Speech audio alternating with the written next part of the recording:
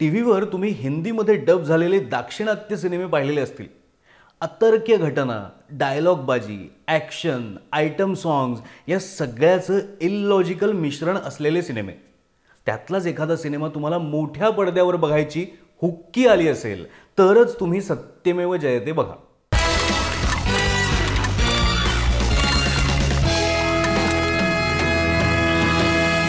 खरं तर काही वेगळं सांगण्यासारखं नाही आहे कारण वेगळं काही घडतच नाही ना.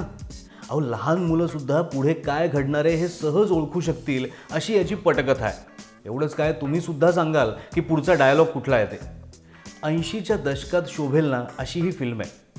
सोशल मेसेजचा आव आणणारी देशभक्तीच्या बाता मारणारी अशी ही टिपिकल रटाळ मसाला घिसीपिटी फिल्म किलर जो भी है वो कोई आम मुजरिम नहीं है लेकिन वो अपने दिमाग में एक सिपाही है जो सत्य के लिए लड़कर झूठ पर जय दे चाहता है।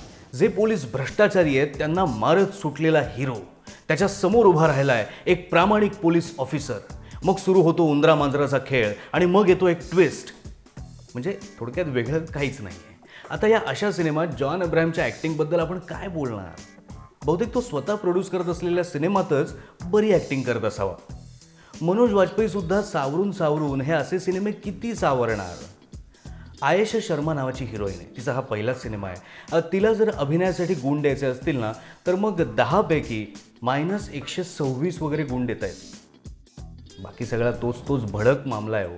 त्यामुळेच या मिलाप जव्हेरीच्या या सत्यमेव जयतेला मी देतोय एक पॉपकॉर्न स्वातंत्र्य दिनाच्या निमित्ताने देशभक्ती एनकॅच करण्यासाठी असाच एक गोल्ड नावाचा सिनेमा सुद्धा रिलीज झाला आहे त्याचा रिव्ह्यू सुद्धा तुम्ही आमच्या या अद्भुत चॅनलवर नक्की बघा.